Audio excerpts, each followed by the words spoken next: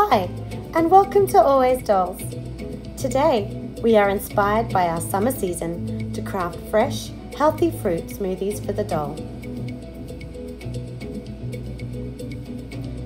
For the cups, I used Totally Rudy's coffee cup printable for a template and corrugated cardstock. I cut out the shape and traced it onto my cardstock, making sure the lines were vertical. Next, I used bright, almost fluoro green paint. It took two coats to cover my cardstock.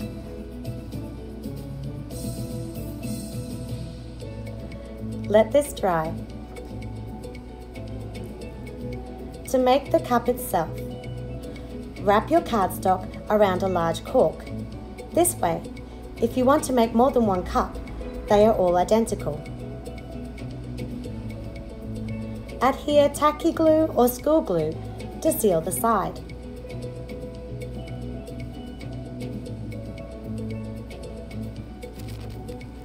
I also used low tack masking tape to help keep the cup closed when drying.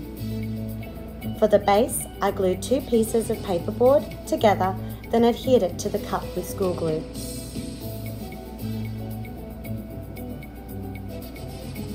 When the glue is dry, Remove the temporary tape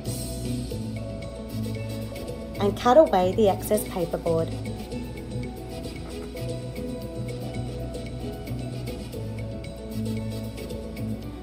To make the smoothie filling, I use Selleys No More Gaps white silicone.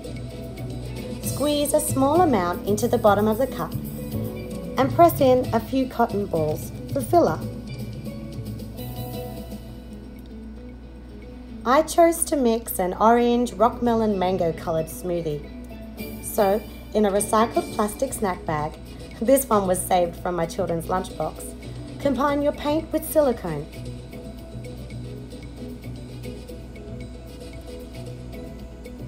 Mix them well with a popsicle stick.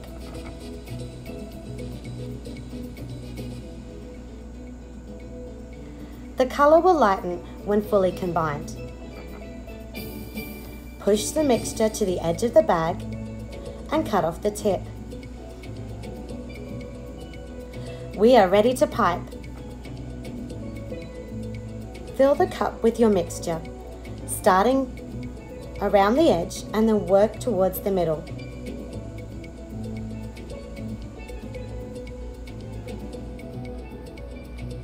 It helps to tap the cup on your work surface to even out the mix. Keep going until you have reached the desired height of your smoothie.